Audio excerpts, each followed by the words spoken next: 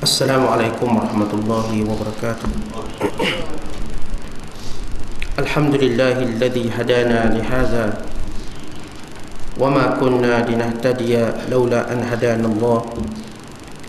أشهد أن لا إله إلا الله وحده لا شريك له. وأشهد أن محمدا عبده ورسوله. اللهم صل وسلم وبارك على سيدنا محمد. وعلى آله وصحبه أجمعين أما بعد وقال المصنف رحمه الله تعالى ونفعنا الله بعلومه آمين maka telah berkata Syekh Abdul Qadir Al-Jilani semoga Allah Ta'ala merahmatinya dan kita mendapat manfaat serta berkat ilmunya berzikir dengan lisan saja tanpa diikuti hati. Berzikir dengan lisan sahaja tanpa diikuti hati itu tiada kemuliaan dan kelebihan baginya. Berzikir itu mestilah dengan hati dan batin. Kemudian baru dengan lisan. Jika engkau memang benar-benar hendak berzikir kepada Allah Ta'ala lihatlah firmannya ini. Fadhkuruni adhkurkum washkuruli wala takfurun. Maka berzikirlah ingatlah kepadaku. Dan saya aku akan mengingati kamu. Dan ucapkanlah terima kasih yakni syukur kepadaku. Dan jangan mengkufuriku.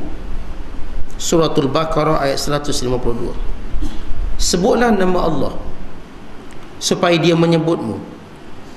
Sebutlah sebutlah dia supaya sebutan itu akan menggugurkan semua kesalahanmu. Lalu engkau menjadi kosong dari segala dosa. Semua kerjamu akan menjadi taat tanpa ada maksiat. Maka ketika itulah dia akan menyebutmu di antara orang-orang yang disebutnya lalu engkau pun sibuk terus mengingatinya daripada mengingati makhluknya. Dan kesibukanmu itu akan menahanmu dari memintanya. Jadi semua maksud dan tujuanmu hanya pada Allah semata.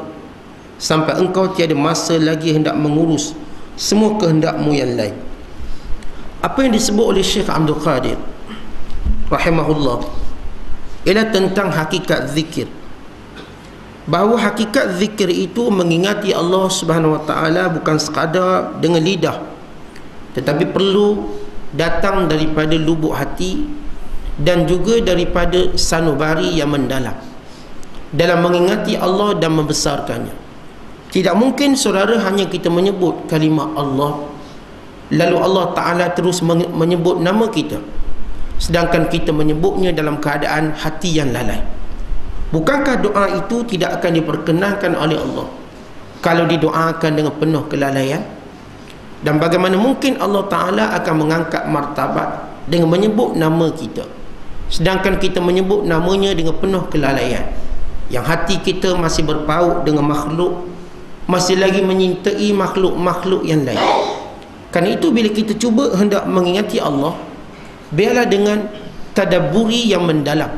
Kerana itu Nabi wasallam ketika menceritakan tentang tujuh golongan yang dibayangi atau dinaungi oleh arasy Allah oleh lembayung Allah taala pada hari kiamat Nabi menyebut salah satu golongan ini ialah warajulun dzakarallaha khaliyan fafadal ainah seorang lelaki Kataan lelaki di sini sepakat ulama bukan makna khusus bagi lelaki.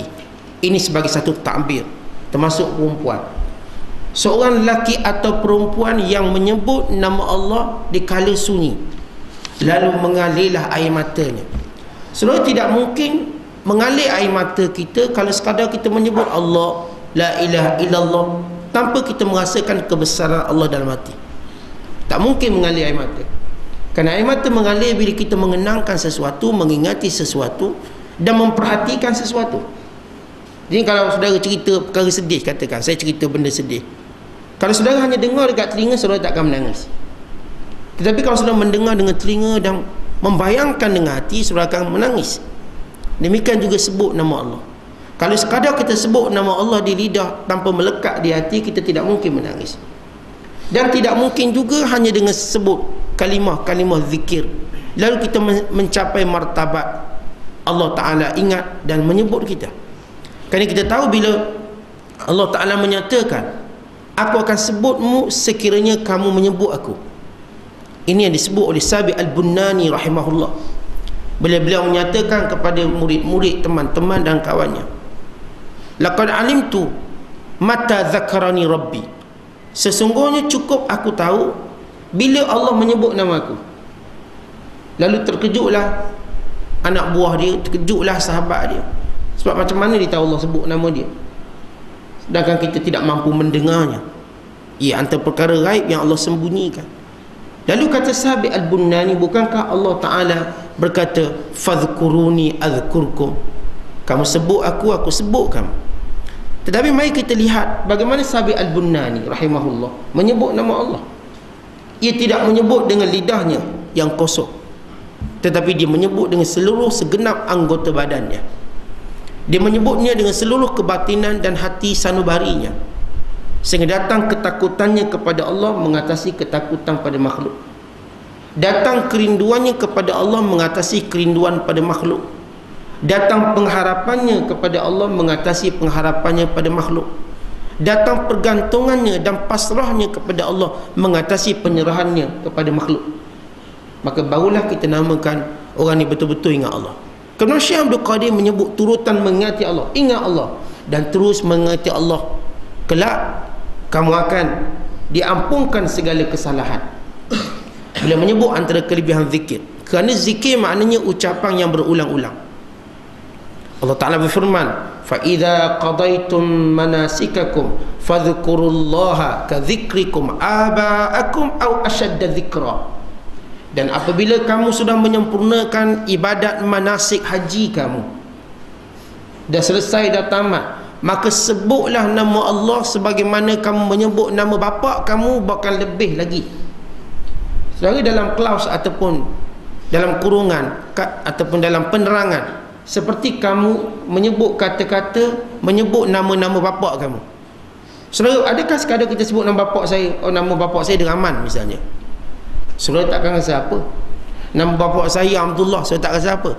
Artinya bila saudara Mengenangkan Ataupun melihat ayah-ayah Dengan kelebihan Dengan keistimewaan Ayah saya lah profesor kat universiti itu Ayah saya lah orang yang paling dermawan. Ayah saya lah orang yang paling kaya. Ayah saya lah keturunan raja. Yang ni maksudnya menyebut nama ayah seperti itu. Kerana orang Arab bila mereka berhimpun ke kota Mekah ini kita cerita orang Arab sebelum Islam. Maka apa yang mereka bualkan sesudah tamat haji? Mereka bercerita nasab keturunan. Awak daripada keturunan mana? Ayah awak siapa lalu masing-masing menyebut nama ayah dengan syair.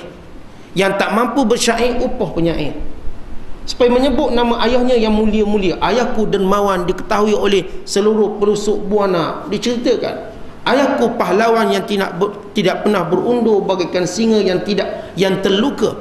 Artinya mereka menceritakan bapa mereka dengan penuh bangga. Sebenarnya kalau kita bapa kita ada satu kemuliaan. Yang buka kampung ni bapa saya. Itu maknanya menyebut nama bapa kalau saudara menyebut nama sekadar oh nama saya Mak Isa bin Rahman saudara tak akan rasa bangga apa sebut nama tu. Tapi bila saudara berkata yang buka tempat ni ayah saya maka datang kebanggaan. Ayah saya kalau ayah saya tak buka tak ada tempat ni. Yang tolong orang kampung sebelum ni ayah saya. Demikian Allah ajar kita. Sebut nama Allah dengan sebangga seperti itu. Bahkan lebih pada itu ketika mana kita menyebut nama Allah Allah yang mana satu?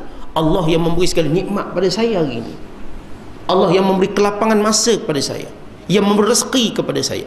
Allah yang telah memilih saya menjadi orang yang taat beragama. Kita penuh bangga. Kerana Allah yang memilih kita. Kebanggaan kita pada nama Allah bukan nama kita. Sebagaimana seorang puji ayahnya kebanggaannya pada nama ayahnya. Bukan pada dirinya. Maka ini baru maksud mengingati Allah. Bila ingat Allah banyak-banyak maka fadilatnya ialah Allah gugurkan dosa dan bila dah gugur dosa kata Syekh Abdul Qadir ketika itulah barulah Allah Subhanahu Wa Taala akan menjadikan segala kerja-kerja mutaat apa tidaknya bila dia nak bermain misalnya dia mengingati nama Allah maka dia tidak mungkin lalai bila bermain. Dia tahu ini haram ini tak boleh. Baru dia nak petih keting kawan eh tak boleh tak baik dosa. Dia ingat Allah maka menghalang dia daripada buat kezaliman. Ketika mana dia nak memukul isterinya dia teringat Allah maka dia tidak menjadikan segala tindakannya itu ketaatan. Ketika mana isteri itu nak bercakap kuat lebih tinggi pada suara suami dia ingat Allah maka dia merendahkan suaranya. Akhirnya semua orang-orang yang mengingati Allah akan mencegahnya buat maksiat. Jadi segala urusannya taat. Bila segala urusannya taat maka ketika itu saudara-saudara semua sebutannya kepada Allah lebih tinggi value atau nilainya. Mula dia rasa lebih agung lebih hebat. Sehingga sampai peringkat Allah menyebut dia. Sampai peringkat Allah Ta'ala menyebutnya dengan cara yang paling baik daripada dia sebut nama Allah. Dalam hadis kursi Allah Ta'ala berfirman man zakarani fi nafsihi zakartuhu fi nafsi. Wa man zakarani fi mala'in zakartuhu fi mala'in khairum min mala'ihi Kata Allah Ta'ala, siapa yang mengingatiku dalam dirinya, aku mengingatinya dalam diriku. Sesiapa yang menyebut, mengingati namaku pada tempat yang luas, maka aku akan menyebut namanya di tempat yang lebih baik, yang lebih luas darinya. Maksud lebih luas ialah menyebutnya dengan lantang, dengan kuat. Ia dalil kepada ramai ulama tentang hukum zikir nyaring dan kita dah bahaskan bahawa tak ada masalah seorang nak zikir nyari. Dengan syarat ia tidak mengganggu orang-orang beribadat yang lain. Melainkan kalau zikir itu datang dengan keadaan takjub. Umpama seorang yang bertakbir Allahu Akbar. Dia bertakbir dengan kuat kerana takjub dan sebagainya. Walaupun dia mungkin sedikit sebanyak seperti mengganggu konsentrasi orang lain beribadat tapi ia sekadar mufrad mufrad yang sekejap. Sebagaimana sahabat yang bertakbir ketika Umar Al-Khattab memeluk Islam. Bila Umar Al-Khattab memeluk Islam masuk Umar Arqam bin Abi Arqam maka serentak spontan kerana takjub. Mereka bertakbir Allahu Akbar. Sehingga suara mereka sampai ke Kaabah